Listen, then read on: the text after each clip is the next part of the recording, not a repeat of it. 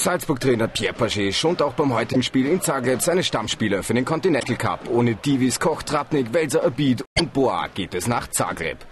Siebte Spielminute. Die Bären kommen erstmals gefährlich vors Tor. Alan Letang. Das 1 zu 0.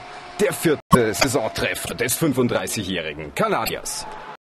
Gefährlich wird es erst wieder in der 20. Spielminute. Ryan Kineswitsch, der 20. Saisontreffer und insgesamt 40. Scorerpunkt, versetzt die 6200 Fans im Dom Sportova in Jubelstimmung. Das einzige Highlight im zweiten Spielabschnitt wird zum Salzburger Lowlight. Eine eineinhalb Minuten andauernde zweifache Überzahl kann nicht verwertet werden. Zählbares gibt es erst wieder im Schlussabschnitt und wieder schreiben die Bären als erstes an. 47. Spielminute, Alan Letang, sein zweites Tor in diesem Spiel. Die Salzburger Antwort lässt aber nur eine Minute auf sich warten. Getümmel vor dem Tor. Daglin schaltet am schnellsten, verkürzt auf 3 zu 1. Die Bären haben aber definitiv den besseren Tag erwischt. In der 52. Spielminute dieser schnell vorgetragene Angriff, die Salzburger Defensive nicht vorhanden. John Hesimovic mit dem Hammer. Das 4 zu 1 für Zagreb.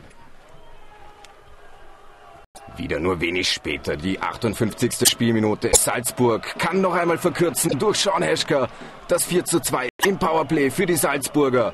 Müssen dann aber den Torwart vom Eis nehmen. Und in der 60. Minute kommt es, wie es kommen muss. Greg Day mit diesem Distanzschuss, mit seinem dritten Scorerpunkt des Tages.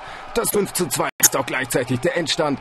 Die Salzburger reisen mit einer Niederlage im Gepäck zum Continental Cup nach Minsk.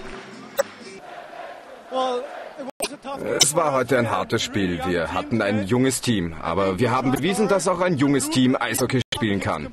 Gegen ein routiniertes Team wie Zagreb ist es einfach schwer zu spielen.